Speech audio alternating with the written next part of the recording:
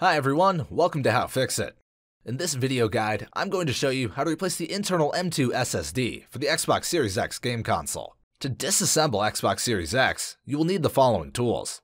Torx T8 screwdriver, anti-static tweezers, plastic opening tools. I also recommend using a magnetic mat and laying out each screw step by step during the disassembly process. Throughout this repair, keep track of each screw and make sure it goes back exactly where it came from to avoid damaging your Xbox. Thanks to the magnetic base, the screws stay on the mat and you will not lose them. In the description, I left links where you can buy all the necessary repair tools. Also in the description, you can find a link to a video where I show you how to repair a water-damaged Xbox controller.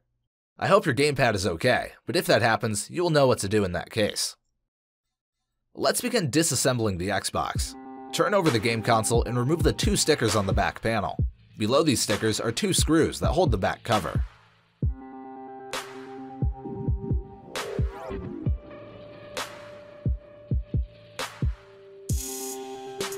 Using a plastic tool, pry up the back cover at the bottom of the game console housing.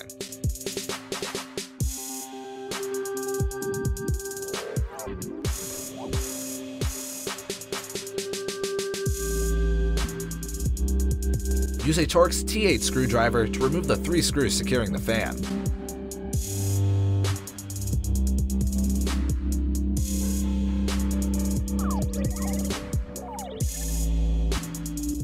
Fan by lifting it up. Now you need two tweezers to remove the base cover. The base cover is held by the inner lock. To open it, slide and hold the plastic latch inside the case. At the same time, insert sharp tweezers into the special hole in the bottom cover and turn it counterclockwise.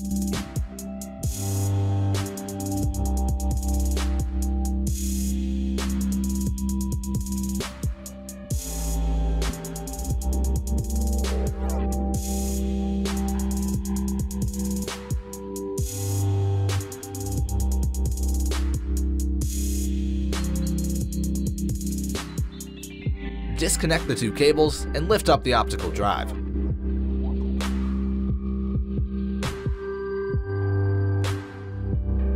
Now disconnect these two ribbon cables.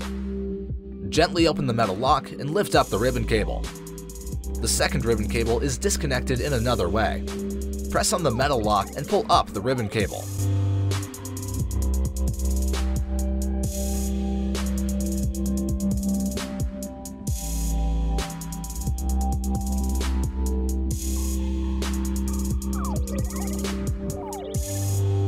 Slide the chassis to the right and lift up.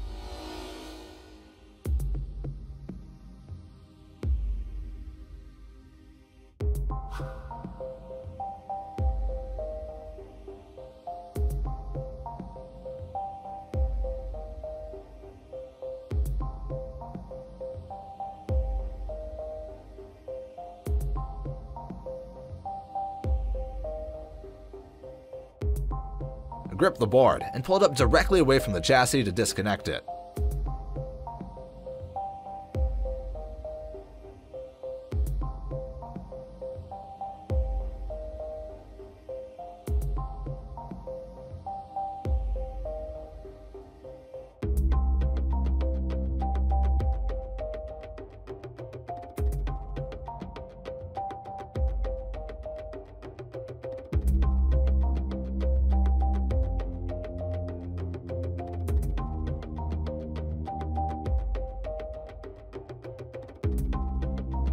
Disconnect the 10-pin power connector from the board.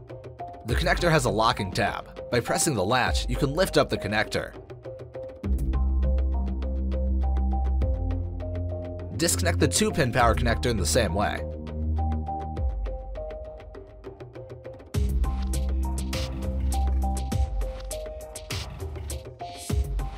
You can now remove the power supply.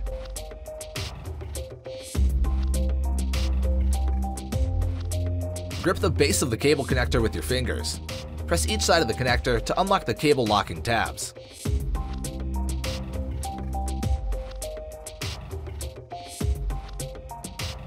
Remove three screws and disconnect the board with the Wi-Fi module.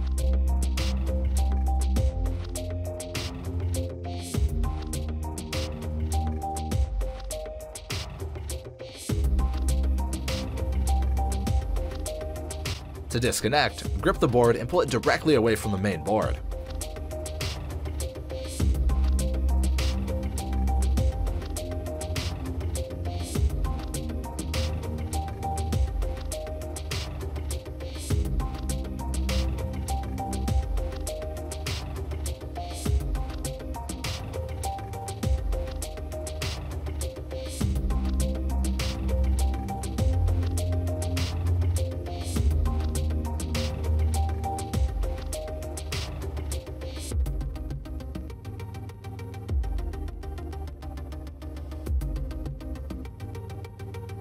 The Xbox Series X game console has a 2230 size M2 NVMe SSD with PCI Express 4th generation.